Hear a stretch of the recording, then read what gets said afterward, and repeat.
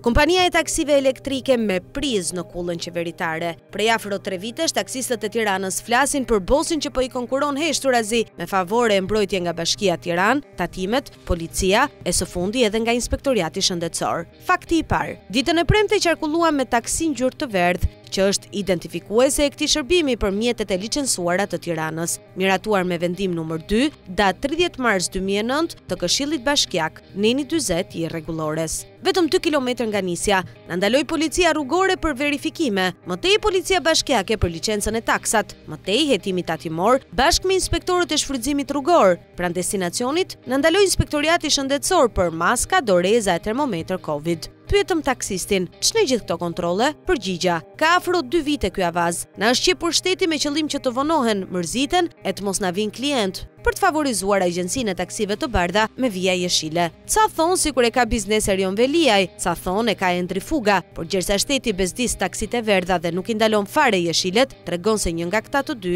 e ka patjetër. Provoni bëni një udhëtim me taksitë jeshile dhe do shikoni se nuk i ndalon askush, as kur shkelin vijat e bardha dhe kalojnë me semafor të kuq. Fakti i dytë, Ditën e shtunë për të verifikuar atë çfarë tha taksisti i verdhë, Bëmë tri lëvizje me taksi jeshile në tri zona të Tiranës. Gjatë gjithë udhëtimit, në asnjë pikë kontrolli, nuk na ndaloi asnjë lloj shërbimi policor, tatimor e shëndetësor, madje kthenin shpinën ose përshëndesnin me gishtin e madh, ok.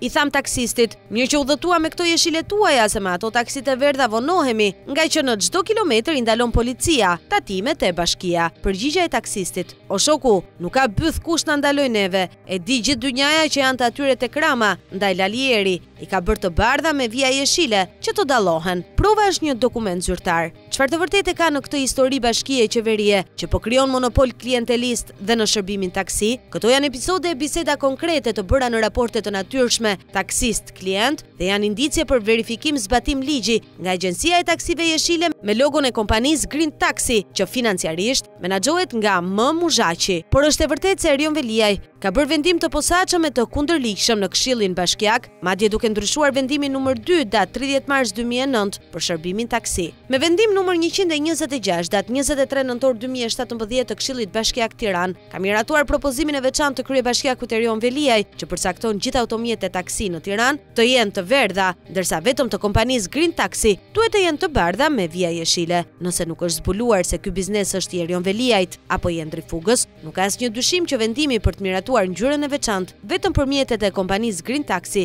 është shenjë kujtese për policinë, tatimet etj, që këto janë biznes i shefave të pushtetit. Kaq për sot. Në vijim, të dhëna doganore, policore e tatimore për këto kompani mjetesh taksi elektrike, që sipas provave që disponojmë, rezultojnë se janë me prizë karikimi në kullën qeveritare.